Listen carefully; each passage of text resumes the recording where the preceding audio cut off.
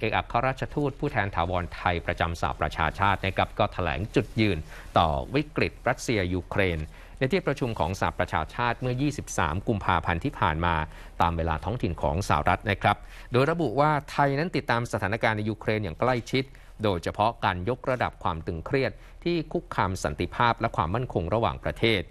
ไทยสนับสนุนความพยายามในการแสวงหาทางออกที่สันติผ่านกรอบเจรจา ที่สอดคล้องกับกฎบัตรสหประชาชาติ และกฎหมายระหว่างประเทศที่ยึดมั่นในหลักอำนาจอธิปไตย และบูรณภาพแห่งดินแดน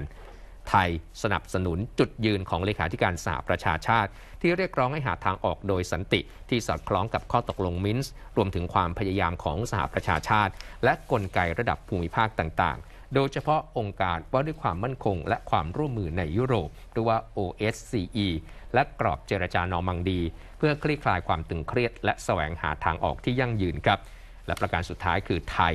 ยังแสดงความกังวลต่อผลลัพธ์ด้านมนุษยธรรม ที่อาจเกิดขึ้นตามมากับประชาชนในพื้นที่